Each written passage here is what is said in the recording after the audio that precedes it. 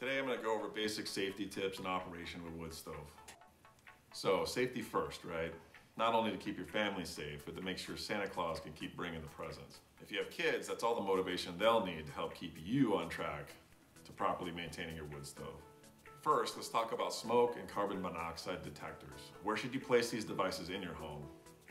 National Fire Prevention Association recommends that you have at least one in each bedroom one outside of each sleeping area, which could be a hallway or a loft, and one on each level of your home. Furthermore, they recommend having a fire extinguisher on each level of your home, as well as one in the kitchen and one in the garage. To save you a bit of time and money, you can use combination detectors. These detect both smoke and carbon monoxide. And if you need some recommendations, you can check out the links in the description below. Now, while these devices are convenient, they definitely should not be used as the only indicator of problems. So let's move on to proper maintenance. One of the most important steps is to clean your chimney. But since it's in the middle of the burning season, I'll be doing a more detailed video on that in the future. You also want to make sure you inspect your chimney cap for obstructions that may impede airflow. You also want to make sure you clean your chimney stack twice per year, generally before and after your burning season.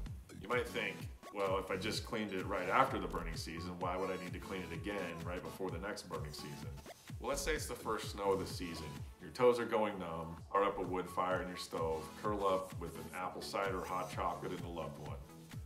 That's definitely not the time you want to find out that a bird made its home in your chimney and the only way for smoke to escape is into your home. So just do yourself a favor and at least clean and inspect it twice a year. Speaking of proper airflow, make sure when you start a fire, your air damper is fully open. Usually they're located on the bottom of the stove. This allows fire to build up heat quickly and generate its own updraft. After about 15 minutes, you can adjust the damper to slow the intake of air and increase the length of your burn. So what happens if you're in a high wind area? In our case, sometimes we get winds of over 20 miles per hour. With a typical chimney cap like we have right now, those high winds tend to force air down the chimney stack into our home. This is also called a downdraft. This makes it very difficult for us to start a fire in high wind conditions without smoke pouring into our home.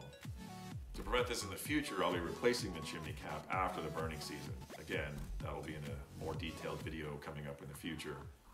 For now though, I keep a close eye on the weather and I don't start a fire if there's high winds expected at all that day. So how do you clean out your wood stove? Well, first and foremost, never ever, ever use a vacuum. Only use a fireplace shovel and only scoop those ashes into a metal bin. I've seen embers in my fireplace last up to 12 hours after the last fire cooled down.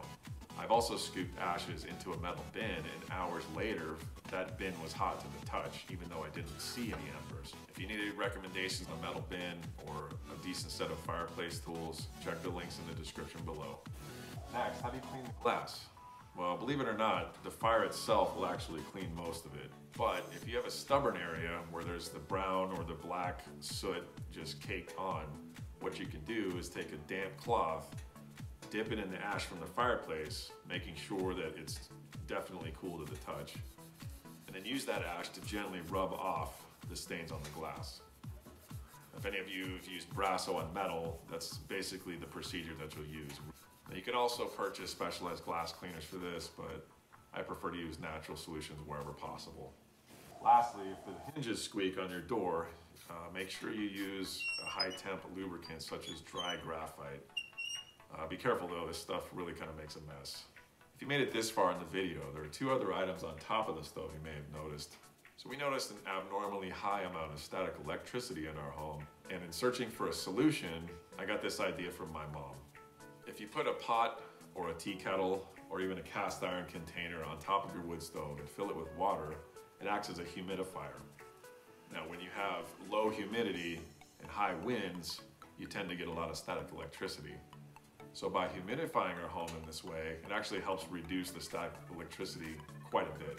The second item on the far side is a heat-powered stove fan. Our wood stove is actually located between two common rooms. The blower we have on top of our wood stove only blows in one direction. Having this heat-powered fan actually helps warm up both common rooms much quicker than just the blower alone. It's definitely a must-have item in my opinion. So again, I'll be making a video in the future that's going to cover the chimney cap replacement, cleaning the chimney stack, as well as replacing the door gasket. So if you found any of this helpful, please like and subscribe and hit that notification bell. And if you need any of the items that we went over today, make sure you check the links in the description below. It doesn't cost you any extra, and the small commission we get really helps out our channel. So thanks so much for watching, and we'll see you in the next one.